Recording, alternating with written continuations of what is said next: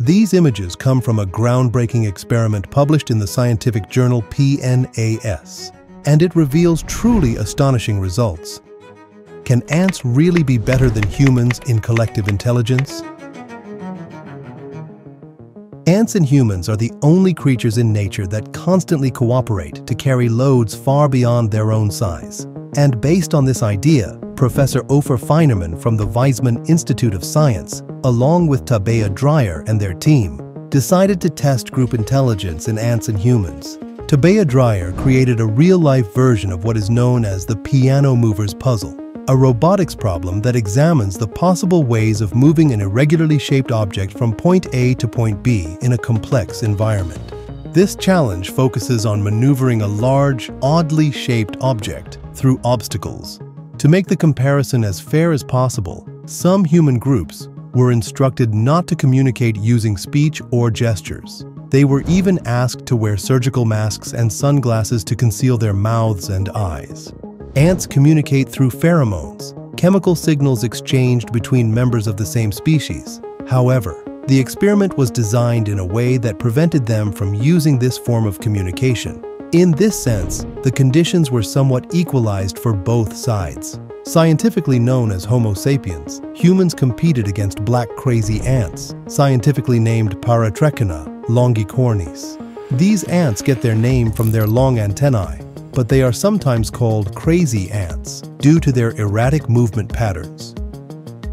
The ants face the maze challenge in three different conditions. Individually, in small groups of about seven, and in large groups of about 80. Humans completed the task in three parallel conditions, individually, in small groups of 6 to 9, and in large groups of 26. The researchers repeated the experiment multiple times for each condition and then meticulously analyzed the videos and advanced tracking data using computer simulations and various physics models. Unsurprisingly, humans had the advantage in individual trials, where their cognitive abilities allowed them to rely on calculated strategic planning, easily outperforming the ants. However, in group trials, especially for larger groups, the picture was entirely different. Ant colonies not only performed better than individual ants, in some cases, they even outperformed humans. Ant groups moved in a calculated and strategic manner, demonstrating a form of collective memory that help them maintain a consistent direction and avoid repeated mistakes. Humans, on the other hand, failed to significantly improve their performance when working in groups. When their communication was restricted to resemble that of ants, their performance dropped compared to their individual efforts. They tended to choose short-term, greedy solutions that appeared beneficial at first, but were inefficient in the long run. According to the researchers, they consistently opted for the lowest common denominator. Key findings of the study. Humans are individually successful, but their performance declines in groups. Ants, on the other hand, failed individually, but achieved remarkable success when working as a group.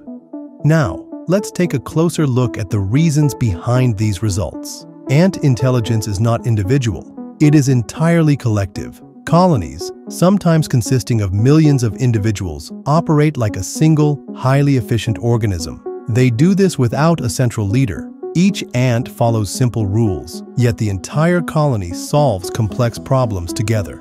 Each ant has a specific role, worker, soldier, queen, or scout. This division of labor ensures maximum efficiency and allows every individual to contribute effectively. Ants' ability to work together so efficiently is an entirely evolutionary process, a direct adaptation to overcome the disadvantages of their small size. This ability is not learned, it is an inherited, genetically perfected system. Humans, however, have strong individual cognitive abilities and are used to making independent decisions. But in groups, ego conflicts, disagreements, and a struggle for individual decision-making emerge. Lack of communication disrupts information flow and decision-making processes, reducing efficiency. The research clearly shows that when communication was restricted, human group performance declined. Unlike ants, humans need effective open communication to work efficiently in groups. In social psychology, the phenomenon known as social loafing refers to individuals putting in less effort when they feel that responsibility is shared within a group. If group members are not held individually accountable, overall performance may decline. Sometimes people suppress their own intelligence or ideas to conform to group norms. This phenomenon is called the conformity effect. To fully grasp why these results are so surprising, consider the perspective of Professor Ofer Feinerman, the lead researcher behind this study. Let's make a small side note here. In our next video, we'll take you to a massive city with a population of 11 million, one that is slowly sinking into the sea. Don't forget to subscribe and turn on notifications so you don't miss it. Now, back to the ants and humans. Feinerman explains, an ant colony is actually a family. All the ants in the nest are sisters, and they have common interests. It's a tightly knit society in which cooperation greatly outweighs competition. That's why an ant colony is sometimes referred to as a superorganism, sort of a living body composed of multiple cells that cooperate with one another. Our findings validate this vision. We've shown that ants acting as a group are smarter, that for them, the whole is greater than the sum of its parts. In contrast, forming groups did not expand the cognitive abilities of humans. The famous wisdom of the crowd that's become so popular in the age of social networks didn't come to the fore in our experiments. The wisdom of the crowd. According to this theory, large groups make better decisions than individuals because collective input reduces errors and enhances intelligence. But this study presents a clear contradiction. Does crowd wisdom actually exist, or are large groups actually less effective? We leave it up to you to decide.